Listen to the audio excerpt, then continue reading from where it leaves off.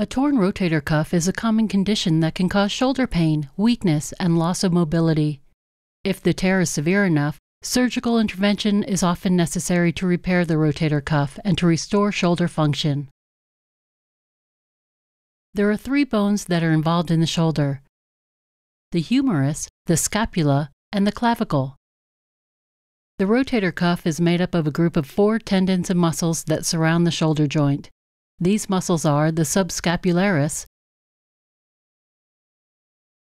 the supraspinatus, the infraspinatus, and the teres minor, and together they work to stabilize the joint and move the arm. A fluid filled sac or bursa protects the tendons of the rotator cuff and allows them to slide smoothly as the arm moves. Rotator cuff tears occur when at least one of the cuff tendons is torn, fully or partially detaching the muscle from the humerus.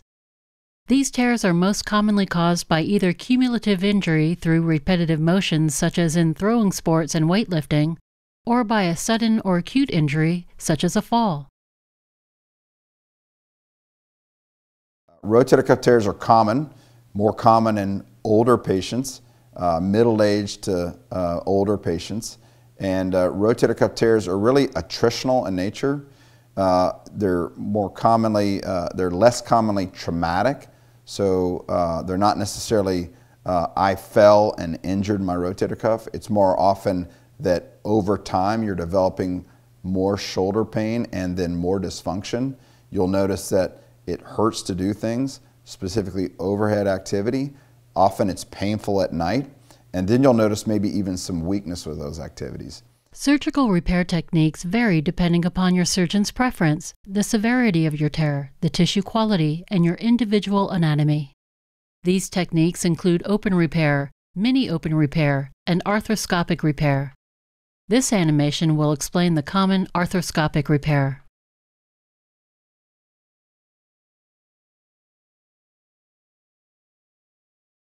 I think arthroscopic surgery is easier if you were trained that way. Uh, to stick a camera into the shoulder, visualize the tendon, and then use other instrumentations and uh, other instrumentation and other um, hardware to repair the tendon back to place. An open procedure is making an incision and actually looking at the tendon. I think arthroscopic surgery gives you the advantage of seeing more in a small space than say an open procedure because the shoulder joint is uh, it can be difficult to visualize. You're having to, in an open procedure, go through muscles and look down into a deep space, find the tendon that's torn and pull it out. Whereas arthroscopic, you're using a small camera to go through the muscle um, and you'll be able to see uh, much more of the anatomy. Yeah, I think there are do's and don'ts about what to do before surgery if you have a rotator cuff tear. You know, one of the things that's common is that people are getting cortisone injections to help their pain. In general, if you know you have a rotator cuff tear, it's probably better to not do cortisone injections because it can weaken the tendon. And that can make it tear into a bigger tear, or it can make it more likely that your repair doesn't hold up. So once it's known that you need surgery, I would hold off on injections, uh, at least steroid type injections. There are other type injections like Toradol that is an anti-inflammatory medicine that you could do to buy time.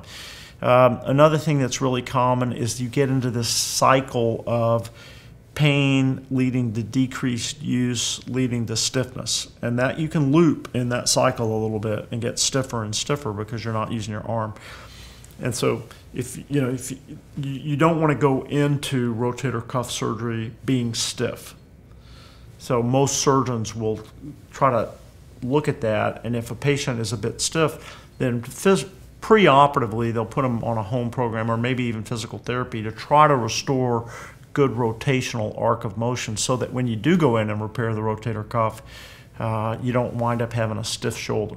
That, that, that's probably one of the worst complications uh, or more difficult things to deal with after having your rotator cuff repaired is if your shoulder gets too stiff. So you don't want to go into it stiff. Depending upon your preference and that of the anesthesiologist, you will be put under general anesthesia and or a nerve block. Your surgeon will make one or two small incisions around the shoulder joint. Next, a cannula will be inserted into the incision and saline solution will be injected in order to expand the joint to allow the placement of a small camera or arthroscope and surgical instruments. Once placed, the arthroscope will display images into a video monitor, and your surgeon will use these images for guidance during the procedure.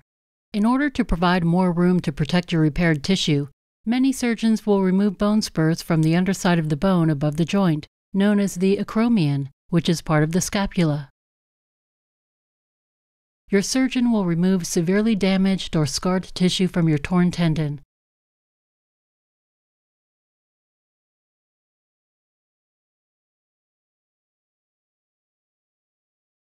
Implants called suture anchors are then placed in order to secure the repaired tissue to the bone. Your surgeon will then pull the tissue over the top of the head of the humerus for reattachment. Typically, arthroscopic rotator cuff repair is performed in an outpatient facility, and you should be able to go home the same day. Pain and swelling after the procedure is normal and will decrease over time. You may be prescribed medication to manage your pain for the first few days and as needed. Um, our data is very clear that we used to start therapy far too soon and as a result had an unfortunately high rate of retear or incomplete healing. Our biology data is very specific in that it takes six weeks for early healing of the tendon to bone and three months for the strongest fibers called Sharpey's fibers to form.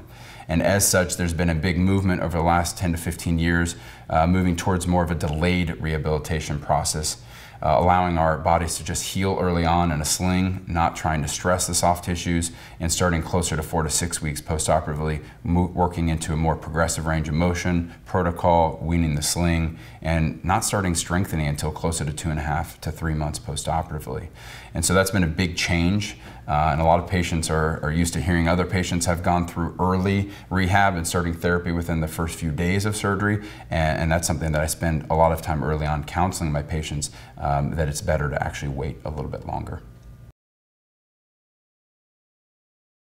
The timing of rotator cuff surgery is an important one. Um, for the most part, I would still try to exhaust conservative management for rotator cuff repairs, and I think there's an opportunity for many patients to treat them non-operatively with ice, anti-inflammatories, and a very significant physical therapy rehab protocol focusing on scapular stabilization and rotator cuff strengthening. And for many, they're able to achieve excellent range of motion, function, and strength, and we can often wait on any consideration of a rotator cuff repair. With that said, there is a concept that once the rotator cuff tears, it's not going to fully heal. It can grow in size, it can retract, atrophy, infiltrate with fat, and at some point may become irreparable. And that's a very significant problem um, to deal with long term in that we may lose an opportunity to fix it and we might have to rely on alternative strategies of addressing a rotator cuff tear in the future. Visit understandortho.com to watch medical animations and physician interviews about a wide range of orthopedic conditions, treatments, and surgery.